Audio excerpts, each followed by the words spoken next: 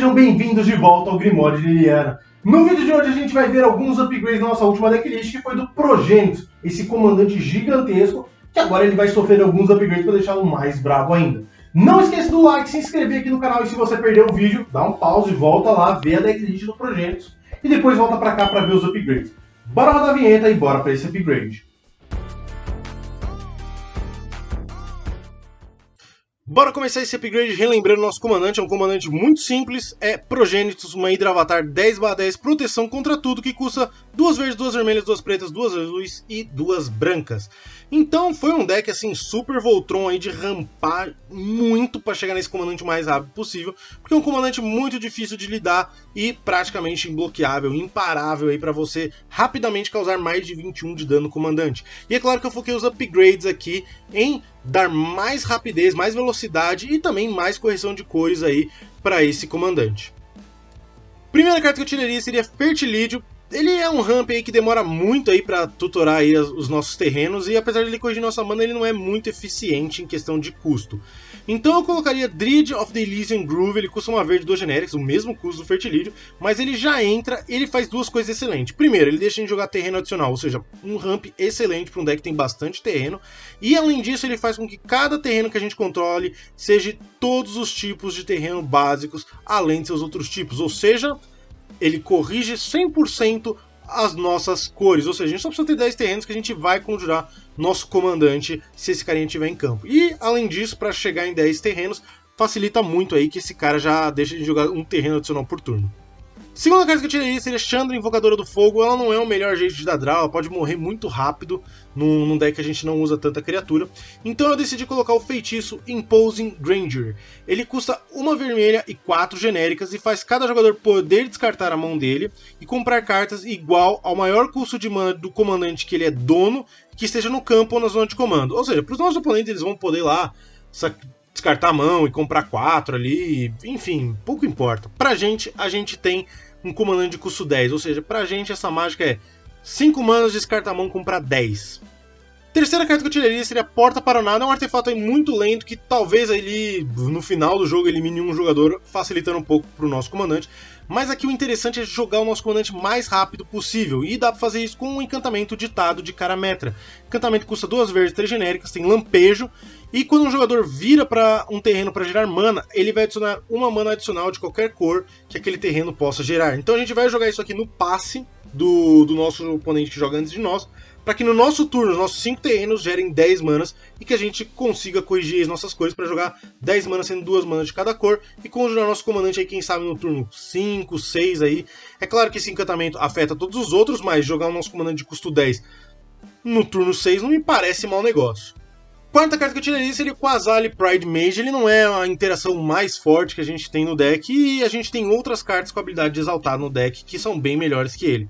Eu colocaria o feitiço Dam, que custa duas pretas e destrói uma criatura alvo e ela não pode ser regenerada, mas ela também serve, além de como spot remove de criatura, como um board wipe, que a gente pode pagar o seu custo de overload de duas brancas e duas genéricas, e a gente vai, em vez de destruir a criatura alvo, a gente vai destruir todas as criaturas. Então é uma carta bem versátil aí, é tudo que a gente quer, um board wipe de custo baixo, um removal aí bem específico aí pra gente tirar alguma coisa problemática de campo. Quinta carta que eu tirei seria Vingador de Torre Dourada. Ele tem exaltado e a habilidade dele de destruir aí é, é só um delay aí pros nossos oponentes.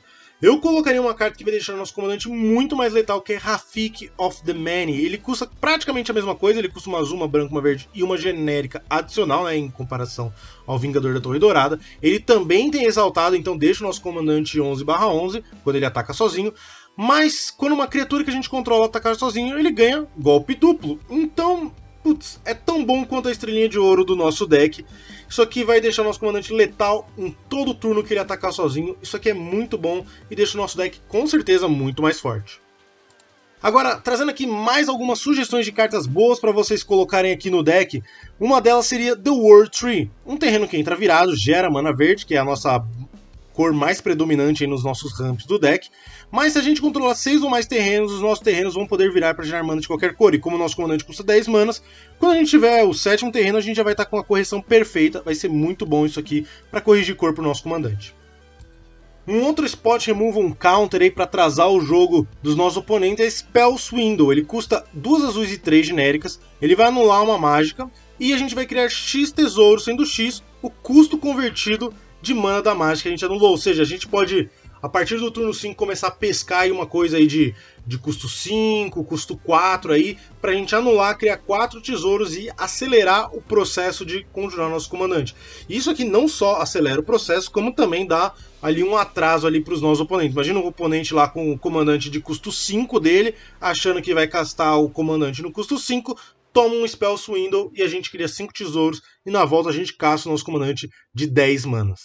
Outra carta excelente para esse deck é Smothering Title, um encantamento custa uma branca 3 genéricos. Quando um oponente compra uma carta, tem que pagar 2 ou a gente cria um tesouro. Ou seja, se a gente conseguir jogar isso aqui no turno 4, 5 aí, putz, meu, vai acelerar muito jogar nosso comandante aí. Eu acho que em duas rotações de mês a gente já vai ter muito mais do que, do que 10 manas para conjurar nosso comandante. Essa carta já é boa por si só, porque pune os nossos oponentes só por estarem ali na mesa, porque eles vão comprar uma carta ali, então já vai dar um tesouro pra gente, ou eles vão perder duas manas no turno deles se eles quiserem atrasar a descida do nosso comandante. O que pra gente é bom, porque eles fazem jogadas com duas manas a menos e a gente vai continuar a nossa estratégia de rampar, rampar e descer nosso comandante o mais rápido possível. E eles ou estão dando mana pra gente, ou estão ficando sem mana e diminuindo o teto da jogada deles.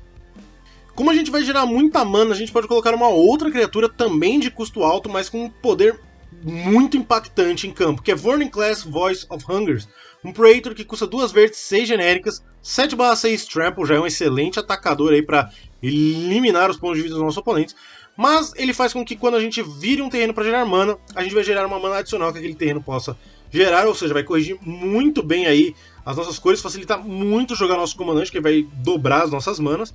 E além disso, ele faz com que quando os nossos oponentes virem um terreno para gerar mana, aquele terreno não vai desvirar na próxima fase de manutenção daquele jogador. Ou seja, vai deixar nossos oponentes slow motion e a gente aí com o dobro de mana, muito mais fácil conjurar nosso comandante. Eu não me surpreenderia se quando a gente conjurasse esse cara antes de conjurar nosso comandante, o pessoal já concedesse aí, porque esse bicho aqui é bem chatinho de enfrentar.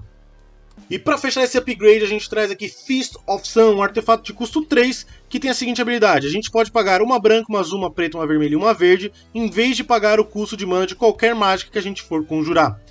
Ou seja, ela transforma nosso comandante em vez de 10 manas num comandante de 5 manas, só que no turno 3. Só que é muito forte porque nosso comandante tem um custo alto, mas poder jogar ele por esse custo é muito mais forte, é muito mais fácil. O Jodá que a gente usa no deck tem esse efeito, ele não levou a estrelinha de ouro naquela ocasião, mas nesse upgrade eu decidi dar a estrelinha de ouro pro Fistosan porque vai acelerar muito o nosso jogo, deixar nosso comandante muito mais barato, então estrelinha de ouro pro Fist of Sun. Bom, galera, espero que vocês tenham gostado desse novo formato aí de upgrade. Não esqueça de deixar um like, se inscrever no canal, deixa nos comentários aí se vocês curtiram aí dar mais upgrades aí para as decklists que eu tô trazendo. E também não esquece de ver a nossa última gameplay que a gente lançou na semana passada, foi uma gameplay bem maneira aí, tá como sugestão aqui no card. Pessoal, nós vamos ficando por aqui e até uma próxima, galera.